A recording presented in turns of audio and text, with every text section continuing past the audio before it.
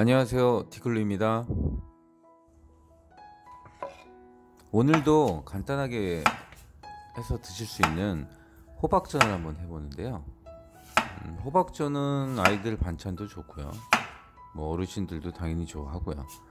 제가 막걸리는 잘 먹진 않지만 맥주를 좋아하는 편인데 막걸리 먹을 때도 요거 호박전을 같이 해서 먹으면 아주 참 맛있더라고요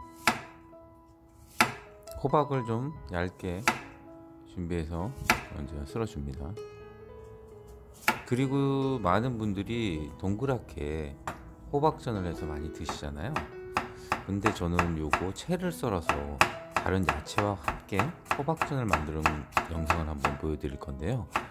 그냥 동그란 호박전은 좀 많이도 먹어봤고 약간 저는 좀 개인적인 취향이지만 조금 물렁거린다고 해야 되나?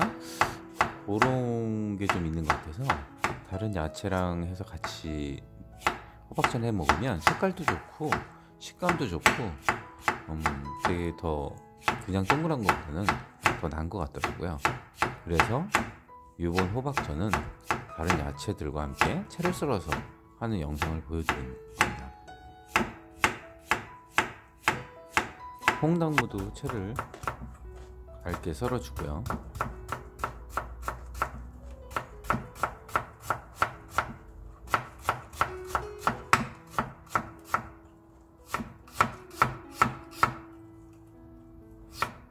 국민 식재료인 파는 뭐 안 들어간 데가 없죠.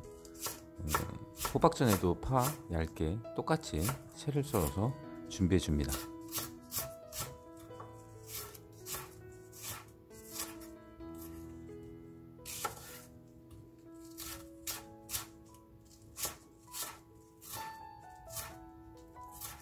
자, 세 가지 채소를 다 썰어서 한 곳에 모아주고요.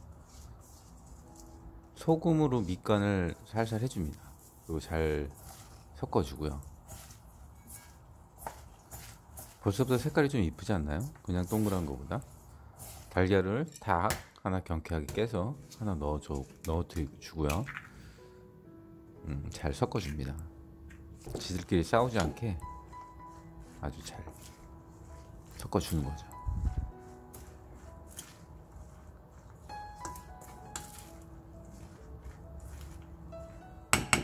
잘 섞었으면 마지막에 지각대장인 밀가루를 넣고 또 한번 잘 섞어줍니다. 그거 이렇게 되면 다 끝난 거죠 뭐. 할 게 없죠 뭐. 야채 채 썰고 소금 밑간하고 계란 넣고 밀가루 넣고 그러면 이제 팬에 불을 올리고 그럼 다 이제 호박전은 끝난 거라고도 봐도 됩니다. 약간 동그란 땡보다는 조금 크고 너무 또 크지 않게 그냥 한입 먹었을 때 괜찮은 정도 사이즈로 붙여주는 게 좋더라고요. 근데 하다 보다 하다 보다 보니까 이게 조금 눌러진다고 해야 되나 그래서 조금 더 커졌어요. 그러니까 원래 생각보다 조금 더 작게 해서 하는 게 더 이쁜 것 같더라고요. 좀 커져 버리니까 너무 빈대떡 같기도 하고 조그만 게 더 보기도 좋고 먹기도 좋은 것 같아요. 잘 익게 프라이팬을 앞뒤로 흔들어 주면서 달래가면서 이쁘게 맛있게 익으라고 잘 붙여줍니다. 소리 들리시죠? 벌써부터 침이 보이네요.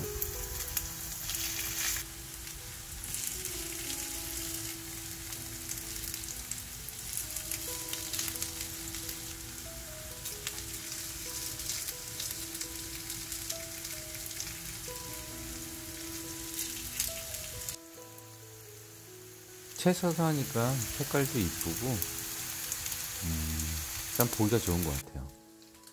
아 아까 말씀드린 것처럼 좀 너무 커졌죠. 그 처음에 생각할 때 조금 작게 하는 게 더 좋은 것 같아요. 자 그럼 플레이팅 한번 합니다. 어, 플레이팅은 항상 말씀드렸지만 대충대충 해도 나도 원래 색깔이 이쁘니까 괜찮은 것 같아요. 어떠세요?